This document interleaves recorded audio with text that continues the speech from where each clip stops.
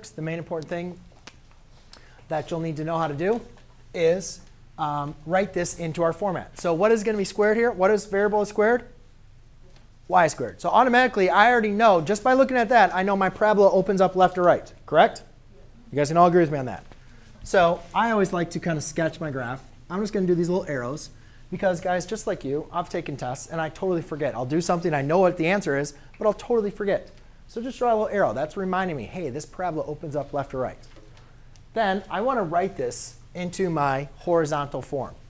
So I'm going to write this as y minus k squared equals 4p times x minus h. Now, I need to figure out what my h and k is, because that's my vertex. Oh, did I not write that in there? Sorry. If you see how the vertex is hk up there, the vertex is the same thing for this. So I'm going to write this into my form, y minus 0 squared equals negative 8 times x minus 0.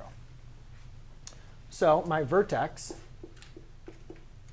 which is hk, is 0, 0. Would everybody agree with me? Vertex is at 0, 0. hk. Just like we did before. Yes, question? Uh-huh. Not yet. Right now, we're just identifying what the vertex is. Well, I'm saying here's the general equation. This came from here. All I did was just rewrite the equation.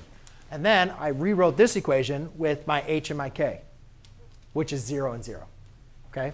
But yeah, we're about to get to the p here in a second. Yes?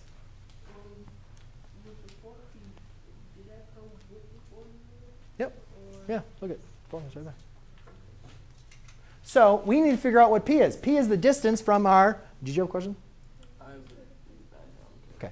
p is the distance from your vertex to your focus. So 4p is equal to negative 8. 4p is equal to negative 8. They're in the same position of our formulas. Let's figure out what p is. Divide by 4, divide by 4. p is equal to negative 2. OK, so the distance from my vertex to my focus is negative 2. However, it's 2. It's negative 2, though. So therefore, if my graph opens up left or right, if I'm going negative 2, should I be going to the right or should I be going to the left? Left. And you guys already know this because you guys already looked at the graph, right, on your calculator. You already know that it's negative 2. So my focus is negative 2 comma 0. And then the directrix is the opposite of p. What is the opposite of negative 2? 2. Positive 2. So we go to the right 2. Now, hold on a second. Here's your parabola you guys created. If my parabola opens up to the right, my, vert, my directrix is a vertical line. Does everybody see that? So how do we write the equation of a vertical line?